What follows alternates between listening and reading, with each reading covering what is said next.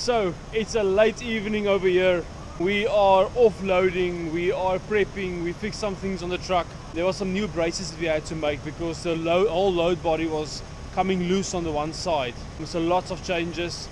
We are going to offload one of the trailers from the farm that we fetched and then we're going to load another load onto the truck that needs to go quite far tomorrow. It's about a day's drive to where the beaver tail is going and then another day for coming back. But yeah, let me show you guys. So we're gonna pull that trailer off the beaver tail now. And the beast, the four-wheel drive car there, is one of the things that needs to go on the beaver tail.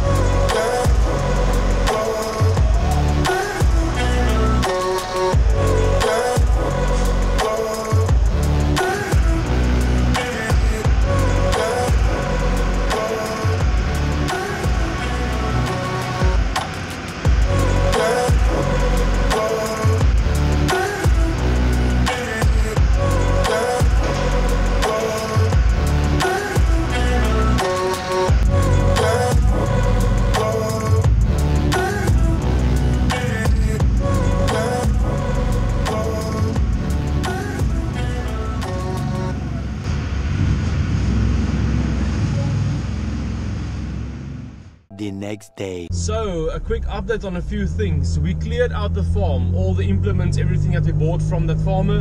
Everything was cleared out as you guys saw in the video. So now the process begins of um, seeing what we're going to get rid of. We already got rid of quite a few things and whatever is left we will be refurbishing completely and then we'll be reselling that.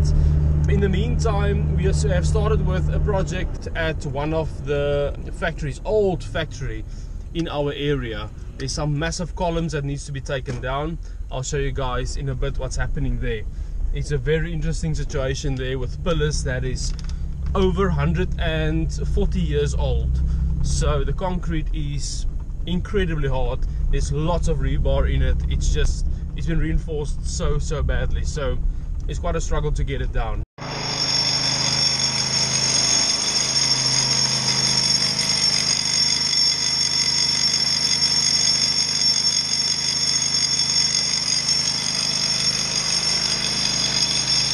Then the other thing is we are in the process of redoing our trucks. So the white truck, the 1214 Mercedes-Benz is being done first. So at the moment the guys are busy uh, taking off the paint and um, they're busy flattening and all those kind of things so we can start with the spray job to obviously neaten out the body and all those kind of things. I'm honestly super super excited to see what it's going to look like. We are changing the colors of the trucks to like uh, all of them must be the same and um, but we're taking a new color. I'm not going to reveal the color to you guys yet. I'm going to show you once we start with it.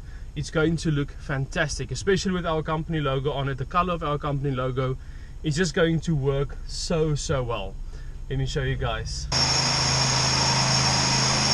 Yes, Amito. How's it? Good, good.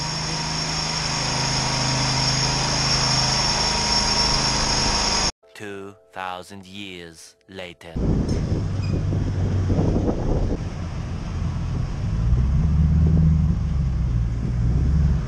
Alright guys, big excitement. Our 1214 Mercedes is on its way to get spray painted. Uh, we are just, we are super excited. Have a look here.